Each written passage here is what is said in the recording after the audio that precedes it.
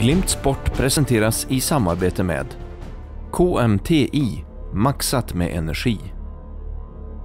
Råums Maskin. Vi tar hand om era fastigheter. Elektra Lindblad. Pumpar och elmotorer för alla behov. Kevab. Och Ramirent.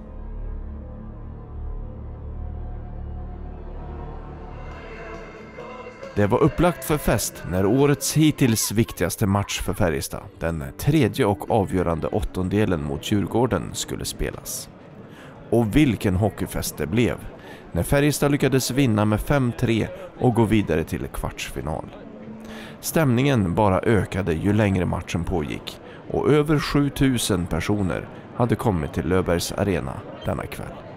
Vilken match det blev! Ja, ja, ja, man måste kunna beundra en sån här match även fast man är i ena båset. Och med den inramningen och allt och det att vi får stå där som segrar inför den här härliga publiken och med den eh, krigarhjärta som laget visar upp. Och, ja, det, vi reste oss flera gånger och vinner det här i sista perioden på ett fantastiskt roligt och starkt och bra sätt. Det, nej, vi måste få njuta ikväll.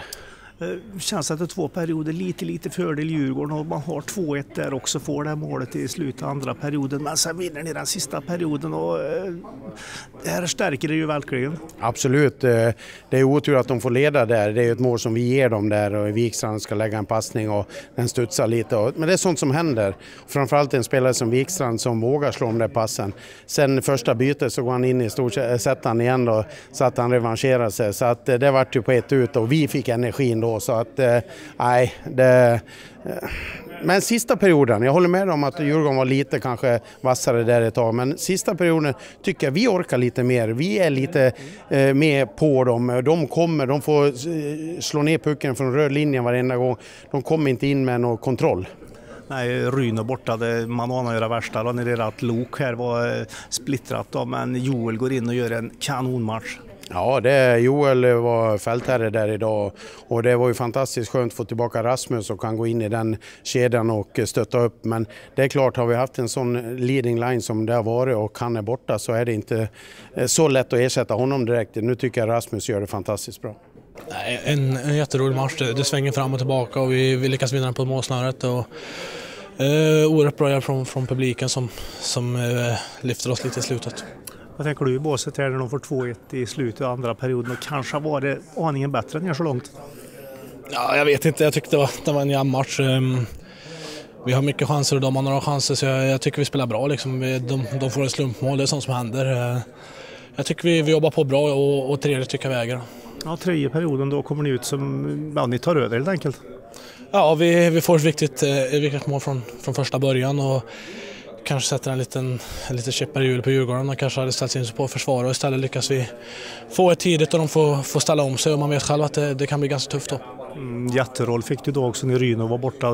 Mycket speltid återigen och två mål och ett assist också. Ja, men eh, det, det kvittar vi som individer nu. Det, det är nu vi ska komma samman som lag eh, i, i slutspelet. Liksom det, det är laget för jaget. Det, det finns inget annat just nu. Alexander Johansson, eh, ni slår Djurgården här i en jämn fight. Ja, eh, det har varit jämnt hela säsongen mot dem alla matcher. Det, eh, det är en motståndare att vara i en åttondelsfinal så jag tycker det är starkt av oss att hitta ett sätt att vinna de här två matcherna. Mm, ni reser er här lite grann. Ni ligger under med 2-1 i slutet av andra men i, i tredje då, då gasar ni. Ja, det var likadant här hemma för några dagar sedan där vi hittade en melodi och det var faktiskt nära på Hovet också att vi hittade i, i andra perioden och kunna hitta ett sätt att vinna. Så det, det, är en styrka i gruppen och idag är det jättemånga som bidrar så det är jättekul. Joel eh, går in och tar Johan Rynos plats där då, det, det funkar? Ja, nej men Joel är ju en exceptionell center. Det är väl kanske en av de bästa unga talangerna som vi har fått fram i svensk hockey på väldigt länge. Så eh, jättekul att se honom där ute så han bidrar på ett bra sätt.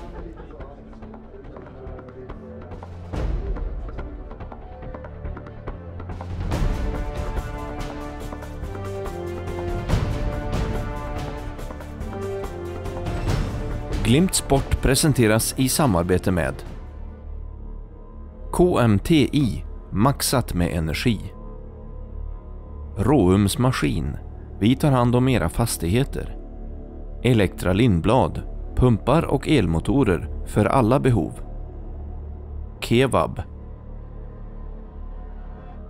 och Ramirent.